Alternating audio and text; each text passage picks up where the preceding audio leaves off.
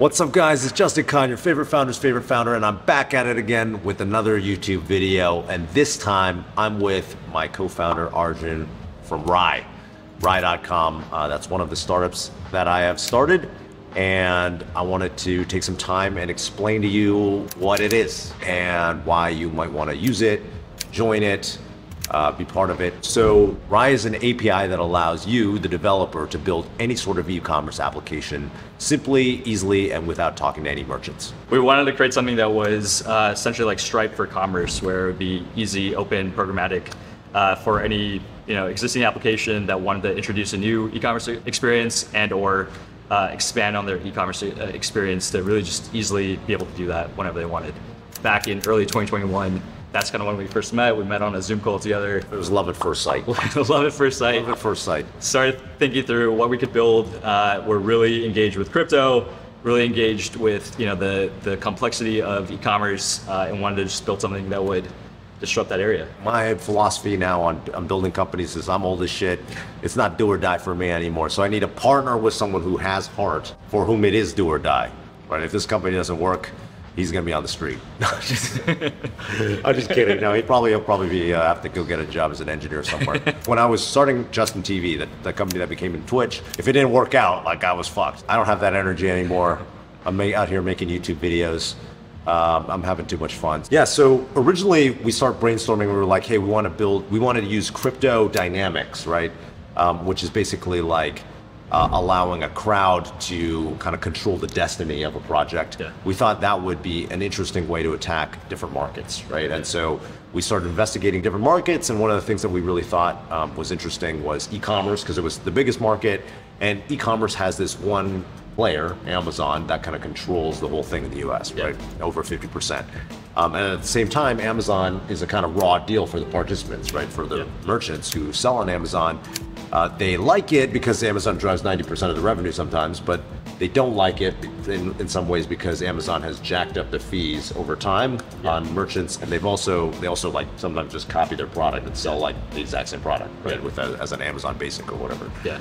Uh, so after we talked to a bunch of, of merchants, uh, it was pretty clear that they wanted an alternative channel, right? And that's why a lot of traffic goes to Shopify. People are setting up their own stores and trying to drive customers to their own channel. We conceived of Rye as a third channel uh, where any developer who wanted to set up any kind of shopping experience uh, could sell any sort of um, like product that they, they wanted to or products they wanted to. Yeah. And at the same time, you know, I've, I've been an investor, angel investor, and so I had a lot of people come to me and say, "Hey, I'm you know building a live shopping app. I'm building a creator commerce app where creators can sell their favorite things." And you know, the commonality among all of these different types of new e-commerce apps uh, was that people it was hard to set up a new e-commerce app, yeah. right? Because it's hard to figure out how do I get merchants, how do I merchandise my store, and then how do I connect to all these merchants' middlewares? You know, they have their own e-commerce backend. How do I connect? Yeah. And so the light bulb kind of went off for us, and we were like, hey, we could uh, just create an API that allows people to easily build on top of this. We want to allow people to easily add e-commerce to their app. Yeah,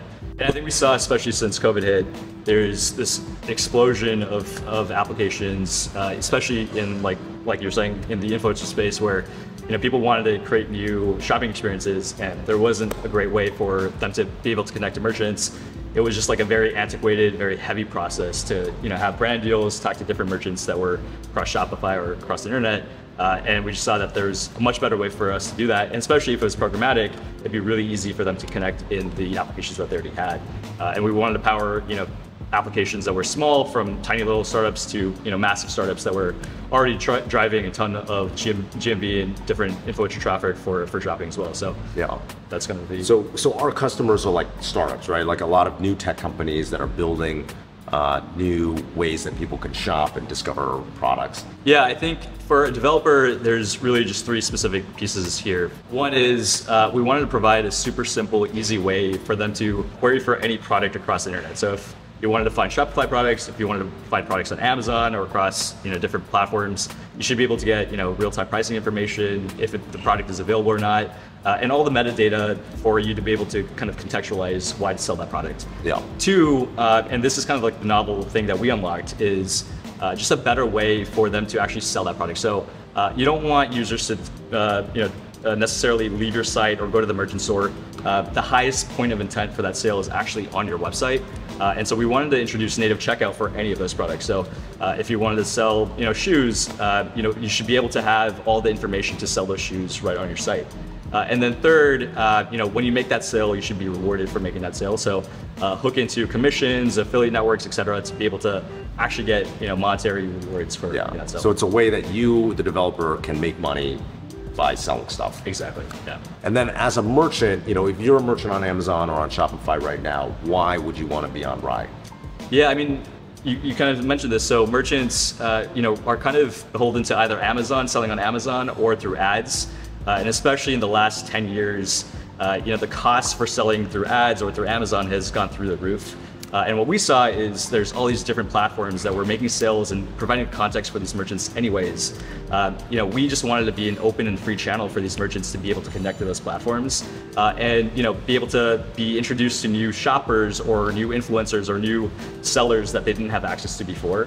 Uh, and with our platform, it's very simple to do that. And they can have custom permissions, uh, they can talk to these platforms directly and just have a much better understanding of where this, those products are actually being sold. Yeah, so as a merchant, you know, if you're on Shopify, you can install our app with one click, super easy, Yep. and you get free sales, and you don't have to, you know, the default is you don't have to pay commission on that. So it's like Yep. a free channel for merchants. Exactly. And, and one thing that we also unlocked was specifically the, the native checkout piece. We wanted to make it super simple for uh, any shopper to be able to buy any product from any merchant. So, uh, you know, if they go through our API, uh, where we live is we take all the, the customer information in terms of the order, what they want to buy, the product details, the credit card information, payment details, and we actually just place that directly on the merchant's order stack. So it's super simple. It's just like if that shopper went directly to that merchant store to actually purchase something. Um, and it's, you know, they get all the customer information, everything that they need to actually be able to engage with that customer.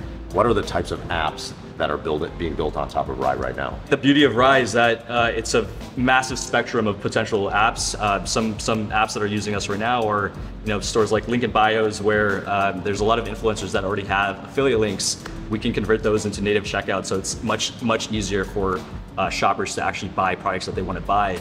Uh, we also work with gifting platforms and expanding their inventory.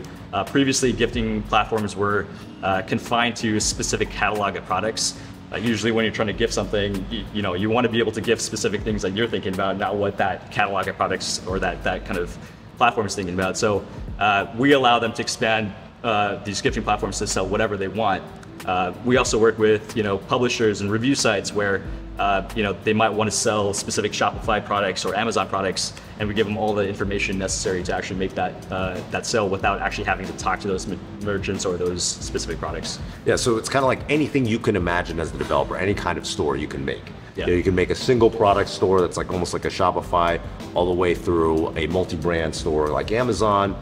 See something completely out there like a live video shopping app. We want to empower the creativity of the developer to create any kind of e-commerce experience that they can imagine. The crypto part. So we want to talk a little bit about the crypto part because we did mention that in the um, in the past. So for me, you know, the way I think about Rye is that we can be successful without crypto at all. Like as an API with a marketplace behind it that empowers all these developer apps, if we make that function, then that's something that people want. We can be a successful company. One thing that got me interested in crypto is if it's possible to create a new model of governance on the internet where the people who make this market, you know, the buyers in our case at Rye, the, the people who are um, developers who are creating the experiences and the sellers who are selling the, the products, uh, we're actually capable of governing the platform over time. So Yeah. they decided what is the permissible behavior Yeah. over time. And so, you know, that's ultimately where I'd love to get to. I- You know, the internet's an experiment, it's an ongoing one.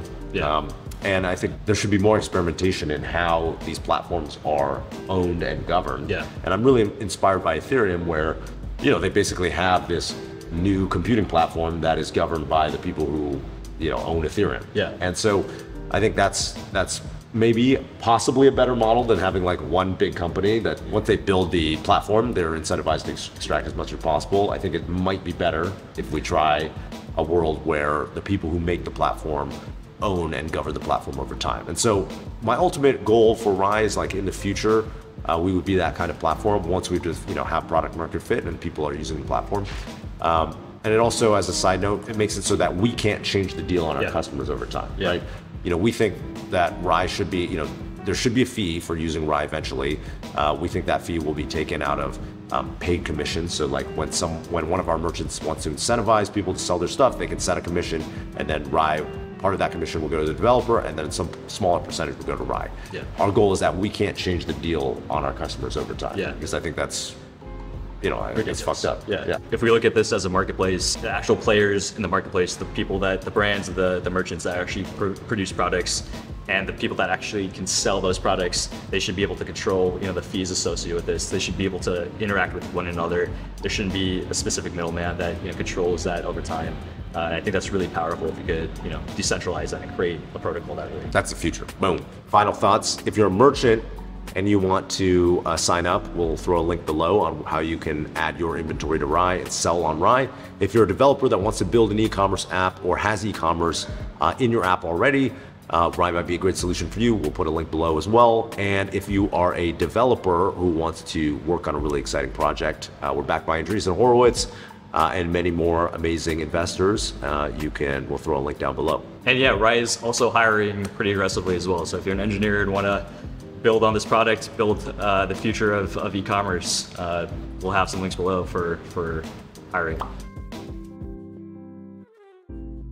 How did you think that went? Went well, yeah, went well. I think there's. Uh, Nervous? You look nervous as fuck, bro. I was I was nervous. I was nervous, but I think there's just a lot to kind of explain around Rye. So I, I feel like we did a, a good job. Oh, you crushed it. We got Saurabh over here, CTO. Big cameo at the end. What, tell us, tell us why, if you're an engineer, you should come work here. Look, uh, I feel like I have the easiest job in the world. I don't, I don't need to sell Rye. I think the team and the mission basically sell themselves. So come, come trial us out. We, we hired all my friends from Reddit who basically built the company and grew it tremendously over the past couple of years. We're all here and we're gonna scale Rye and we're gonna take over the world. We're gonna take over the world. We're taking it over right now, starting with this in Miami.